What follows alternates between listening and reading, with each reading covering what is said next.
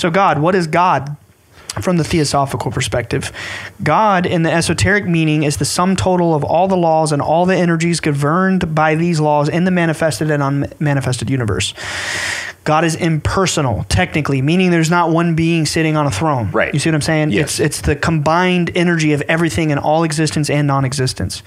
Um, nevertheless, that transcendent God is manifest in every aspect of creation, including ourselves. We are not separate from that creation. From God. Every human being has the potential of the knowledge, the awareness of all in creation that we can think of as meaning God. Think about how in the Bible, when Jesus said, when he was leaving, he said if you know if you have the belief of a mustard seed you can move a mountain you can be as i am and perform miracles as i do if you just had the faith Yeah. He's, it's it's secret you know we are like him we are like god Yeah, that's what that's what came into my mind when you were reading that. Like, be like Christ. The masters are God realized, which is a very specific state in that they have brought their consciousness in terms of the divine spark, the absolute, the self, into complete atonement, or as you could say, at one ment, um, with themselves as men on the physical plane. Plane, the personality and divine aspect are uh, totally integrated. God is everything that exists in all space between that which exists between you and me and around us, around everything. All of that is God. God manifests through its creation, which is made of energies at particular vibrational rates. The form depends on the particular frequency of the nucleus and the electrons of these forms. Modern science has been able to break down the cellular structures. This is him speaking in the 70s. Uh, break down the cellular structures and show that at the center of every atom is a nucleus with electrons all around it vibrating at a specific rate, and that every atom in the universe is made in the same way. There is nothing but energy in all of the manifested universe. Yeah. So it's consciousness. Yeah. You know? It- yeah. It's, it's It's like the force.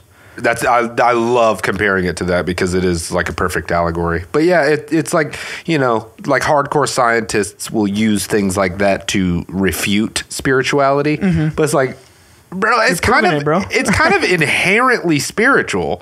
Like everything is the same thing. Like everything's vibrating at a frequency. The tiniest atom has a brain, a nucleus. You know, Ha- has it's like as above, so below is Mm-hmm. Yeah. everywhere. This is the definition of as above, so below. It's like I love that. You know, when you when when you understand what that means, it's the microcosm is a reflection of the macrocosm.